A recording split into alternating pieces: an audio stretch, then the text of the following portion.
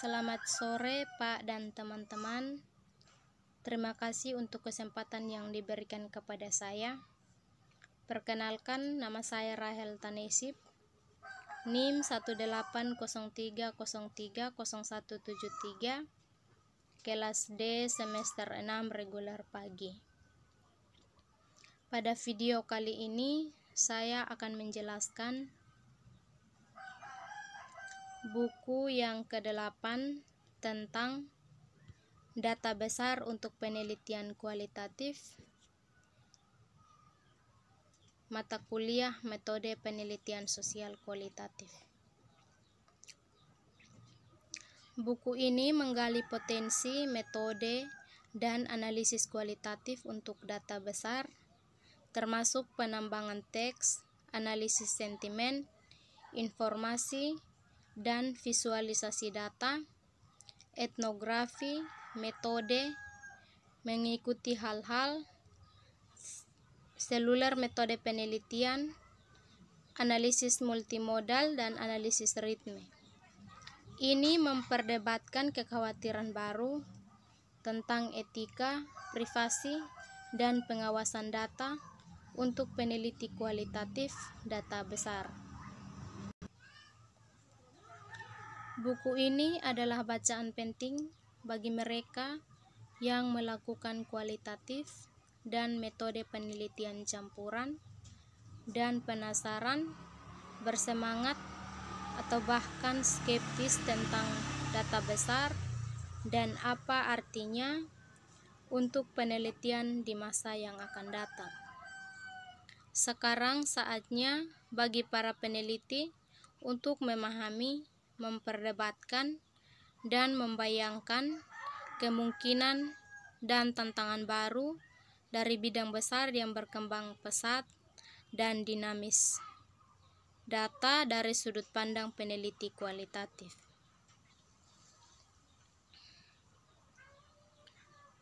Dalam dunia penelitian sosial, sampai saat ini baru ada jenis metodologi paradigmatik secara luas diklasifikasikan sebagai data kualitatif dan data kuantitatif. Keduanya jarang bertemu kecuali dengan penjajaran yang canggung dalam metode campuran. Sekarang, Cathy Mills memperkenalkan kita pada spesies penelitian yang sama sekali baru, yang sekaligus adalah penelitian kualitatif, dan penelitian kuantitatif, di mana akan dijelaskan yang pertama adalah penelitian kuantitatif. Penelitian ini menggunakan metode penelitian yang berlandaskan terhadap filsafat positivisme. Metode ini digunakan dalam meneliti terhadap sampel dan populasi penelitian Teknik pengambilan sampel umumnya dilakukan dengan acak dan random sampling, dan lebih menekankan pada penggunaan angka yang membuatnya lebih rinci dan lebih jelas. Yang kedua adalah penelitian kualitatif. Metode penelitian ini berfokus pada aspek pemahaman mendalam tentang suatu masalah daripada melihat masalah untuk penelitian generalisasi. Metode penelitian ini lebih suka menggunakan teknik analisis mendalam yang melibatkan memeriksa kasus dalam satu kasus karena metode ini berpikir bahwa sifat masalah akan berbeda dari sifat masalah lainnya.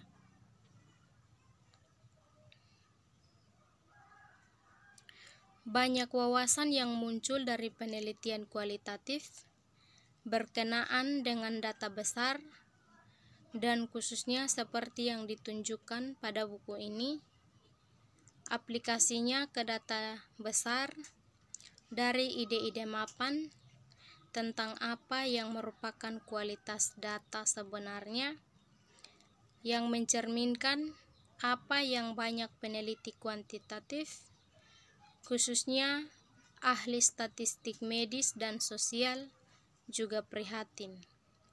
Himbauan data ukuran meskipun membantu dalam banyak hal, tidak menjamin relevansi atau pemahaman yang ditingkatkan.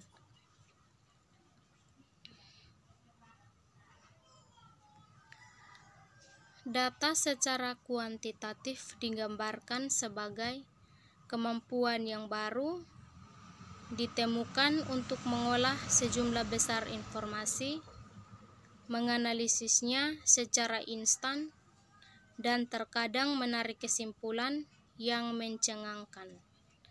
Seperti yang dijelaskan oleh Lohmer yang mengakui hal itu dalam beberapa cara Data besar adalah kelanjutan alami dan perkembangan ilmiah selama 100 tahun terakhir. Selain angka, data berbasis teks juga terkumpul pada skala yang tak tertandingi, memiliki potensi yang cukup besar bagi peneliti kualitatif untuk digunakan untuk pertanyaan penting tentang perilaku manusia dan kehidupan sosialnya.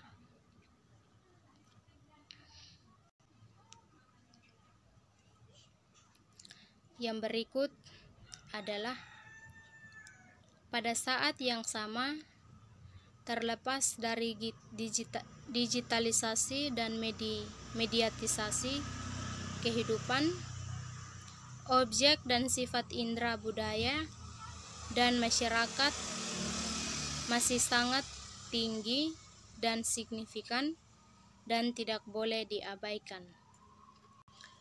Riset digital dan online perlu memperhitungkan interaksi apa yang dilakukan secara online dan bagian yang dan bagian material dari interaksi yang melibatkan tubuh dan berwujud keyboard di lokasi geografis.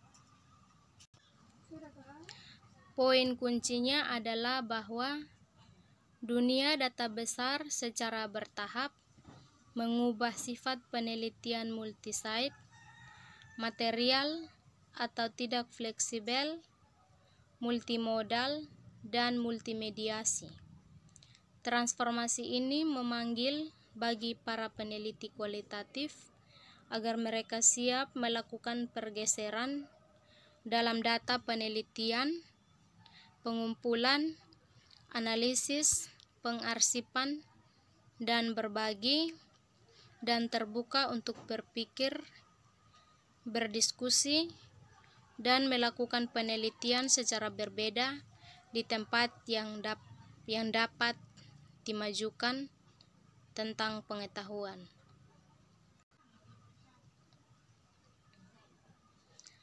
Contoh data besar Aplikasi lain dari data besar termasuk visualisasi kumpulan data besar, pembelajaran mesin, analisis sentimen, penggalian opini, analisis konten yang dibantu komputer, pemrosesan bahasa alami, dan agregasi dan penambangan data otomatis.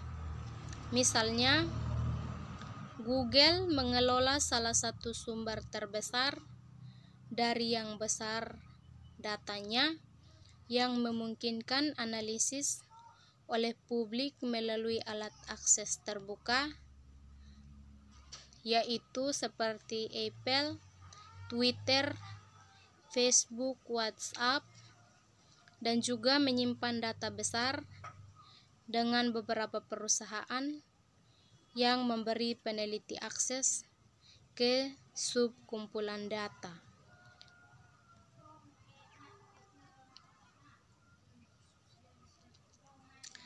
Demikian hasil penjelasan dari saya. Terima kasih. Selamat sore.